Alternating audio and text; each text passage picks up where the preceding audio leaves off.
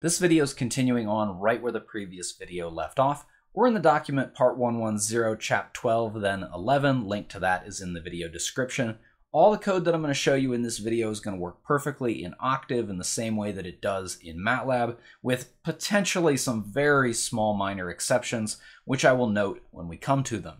I'm at about line 200 in the document, and we're going to talk about integer data types. So we're still talking about numeric data types like we were in the previous video, but instead of talking about floats and doubles, numeric representations with decimal places, we're going to be talking about integers, which can represent positive or negative whole numbers. So in this first section here, I'm going to show this function called int32, which is built into MATLAB and converts whatever input you give it, if it can, into a 32-bit integer. Now, MATLAB has a little bit of weird behaviors that are not the same as many other programming languages. For example, if I take a number like pi here, and I convert it to a 32-bit integer, it just shows up as 3. Now that is the same as most other programming languages. But suppose I take this number right here, just some arbitrary negative number close to 8,000, and I convert it into a 32-bit integer.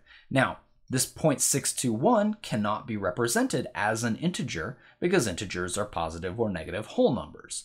And the difference between MATLAB here and, I don't know, like Java say, is that MATLAB is going to round the number. So it rounds it to negative 7,944.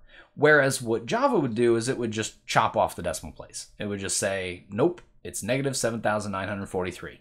And that's probably convenient, right? You would probably expect it to round if MATLAB is your only experience or if you don't have any experience with programming. So that's good. That's what we would hope for. Continuing on down. As mentioned in the previous video, a bit is a unit of computer memory that can represent a 1 or a 0, a true or a false, an on or an off, whatever binary thing you want to represent, that's what you can think of it as. High voltage, low voltage, which is probably closer to what it actually is when you're running it in a computer. Bits are grouped into sets of eight called bytes, and integers come in different byte sizes. So we're going to look at those right now. So in this section, I'm going to show you the int max function and the int min function, which can be used to ask MATLAB, hey, how big can you make, for example, an 8-bit integer? How big can you make a uint 8? What's that? We'll talk more about that in a second. And then how small can you make an 8-bit integer? How small can you make a uint 8? So the U stands for unsigned. And if you ever see that in a programming context, it basically just means it's positive. It can't have a negative sign in front of it. So the single bit that's typically dedicated to representing the positive or negative sign is instead going to be dedicated to representing more of the numeric value. So what we'll see in the output here is that the very largest 8-bit integer is 127. Can't represent any numbers larger than 127. But for the unsigned 8-bit integer, it's 255, almost twice as large. Excuse me, actually slightly more than twice as large. And that's because that one extra little bit there is being used to represent a numeric value instead of whether it's positive or negative. And we see that very starkly when we look at the minimum 8-bit integer. It's negative 128. But what about the minimum unsigned 8-bit integer? Well, it's zero, because it can't go negative. And we can also ask about the maximum value for 32-bit or 64-bit, and they are considerably larger. You might think, oh, going from 32-bit to 64-bit, you would just double this number. Incorrect. Going from 32-bit to 33-bit, you would basically double this number. Every single additional bit doubles the amount that you can represent, because you can represent all the numbers you could represent before, plus this 1 or this 0 in this extra bit. And the reason it's not truly double is if you think about like how many total numbers, just, just distinct total numbers, can be represented in 8 bits, it's 2 to the 8th, which is 256. However, the very first of those numbers that's represented is 0. So how many total values are there, inclusive from 0 to 255? There are 256 numbers. That's how many numbers can rep- be represented by a uint 8, and no more. So 256 itself can't actually be represented, just 0 through 255. I'm throwing this section in here because I didn't know where else to put it. I probably should have put it in the previous video. Complex numbers can be represented as singles or doubles or integers, And it's basically you just need two of them instead of one of them. So when I run this section and open up the uh, workspace over here, you can see that a default complex number is composed of a real and an imaginary component, and MATLAB just stores those two numbers, the real and the imaginary, as doubles in memory. So they occupy 16 bytes. Whereas just a single double, oh, sorry, that's confusing. Whereas just one double is half that, is just 8 bytes. But if we convert our complex number into a single type, so single type is half the size of the double type, well, then it's half as large. So 16 bytes right here, cut that in half down to 8 right here. Two 4 byte numbers are used to represent the complex number. And you could also use like int32 right here if you wanted and convert it to 32 bit integers. And there you go. 32 is for the bits, not the bytes. How many bytes are there in 32 bits? Well, you divide by 8 and you would get 4. But there's two of them, so that's why it's total of 8 bytes right there. Now in this section, I'm going to show how to convert to the integer type, um, and it's worth digressing slightly into various functions that you can use for rounding. So this is kind of an unrelated topic, but I think, I think it's relevant in this section, so I guess I do think it's related. So here are four different rounding functions. Round, we've seen before. If you give it a number, it'll round that number to the nearest integer.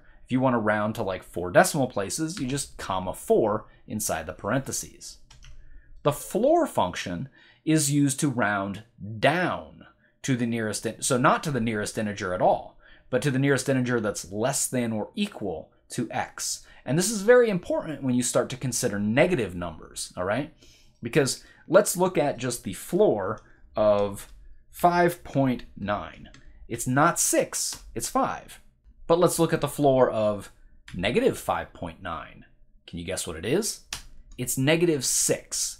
I think it's helpful to picture your number line vertically, and then floor is always down, right? So the floor of negative 2.2 is negative 3, because if you picture that number line vertically, negative 3 is beneath negative 2. And ceiling does exactly the opposite, or ceil is how it's abbreviated. So if I do ceil of 5.1, I get 6. But if I do ceil of negative 5.1, I get negative 5, right? Because we're going upwards. Uh, ceiling versus floor, right? So you picture like a house, the floor is below you, the ceiling is above you. And then fix is an interesting one. Fix rounds to the nearest integer towards 0. So if we do the fix of 5.9, it will be 5. And we do the fix of negative 5.9, it will also be, well, it'll be negative 5, but it'll also be 5 right there. So fix rounds towards 0. All right, but let's actually finally get into these integer functions. So there's a variety of functions to convert to an integer type. There's int8, which will convert to an 8-bit integer, uint16, there's also a uint8, there's also an int16, int32, there's uint32, and there's also int64 and uint64. So this is just a sampling of a few of the values here. And let's look at what we get. So if I try and convert 1024 to an 8-bit integer, well, it doesn't fit.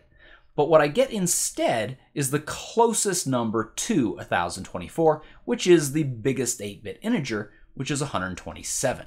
Many programming languages will not do this. They won't give you the closest value. In fact, many of them will literally just copy over the bits. If you convert 1024 to an 8-bit integer in many languages, you will get zero because the first 8 bits of 1024 are zero. So MATLAB, I think, does it actually in a very sensible way. uint16 of 1.8 is going to convert this decimal value, or really I should say double value, to the closest 16-bit integer. It's going to round it up to 2. Now, if you want a different behavior, like you don't want it rounded up to 2, maybe you want it rounded down, you could use one of these functions above, as I do here with floor, to round this down before converting to a 32-bit integer to get 1. If you try and convert a negative number to an unsigned integer, you'll get the closest number that can be represented that way, which is 0. Now, what happens when you divide integers of the same type, but you would normally get a double? Does it stay as an integer? What integer does it become? take a second and try and guess what the output of this section is before I run it. Although I'm not going to wait long. In fact, pause the video. I'm going to run this in 3, 2, 1. So we have two 16-bit integers, 1 and 3. And when I divide them, I get 0. I get the 16-bit integer that's closest to 1 third. And then consistently, I would say, similarly, if I have 2 thirds, I get the 16-bit integer that is closest to 2 thirds. I get 1.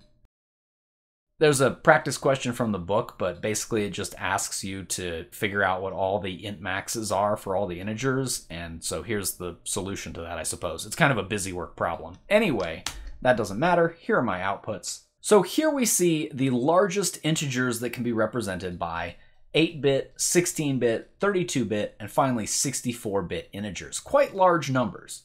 And it's also important to note at this point that there are not gaps in the integer representations the way there are for floats and doubles. I discussed this in the previous video. You can't represent all the real numbers because even between two very, very close together real numbers, there's an infinite number of more real numbers, and we have to use a finite amount of physical hardware to represent these numbers. But with integers, two integers can be right next to each other, and there can and there are not an infinite number of integers between some particular two integers. In fact, between any two particular integers, there's not an infinite number of other integers. So all the integers from zero to this number right here can be represented by uh, unsigned, or actually I should have said unsigned right here. All the integers from 0 to 255 can be represented by an unsigned 8-bit integer. And then similarly for the other unsigned integers here. And you will notice that this number right here is just about half of this number right here because the unsigned integers use that extra bit that would be dedicated to representing the positive or negative sign. Instead, they use it to represent twice as many numbers. And then we can do the exact same thing with the minimum values. And I think the main thing to notice here is that although the unsigned integers can be used to represent larger numbers, their minimum has to be zero because they don't have a negative sign, whereas the regular integers can represent negative whole numbers. And that actually ends this video. In the very next one, I'm going to start talking about character and string data.